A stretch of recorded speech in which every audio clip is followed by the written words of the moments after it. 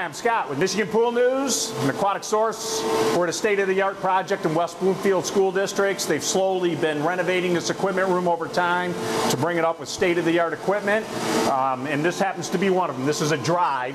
Um, you can get various models of these drives. Uh, you can get um, a green drive. You can get a Accu drive. This one happens to be an H2 Flow.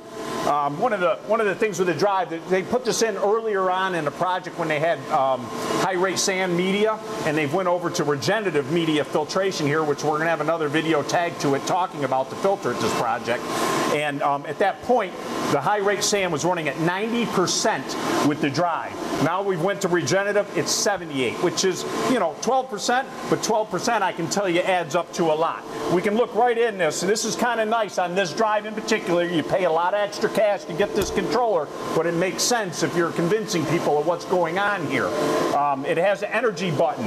It shows that this is ran for 22,000 hours, um, so it's running basically every day, every hour. It runs all the time. It saved 23,000, almost 24,000 kilowatt hours and has saved the district $16,352 since the inception of the drive that was installed.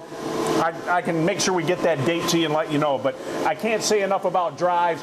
You can't have a state-of-an-art project without having one, but you do need to get an audit to make sure it fits your facility. That's all I can say about that for Michigan Pool News.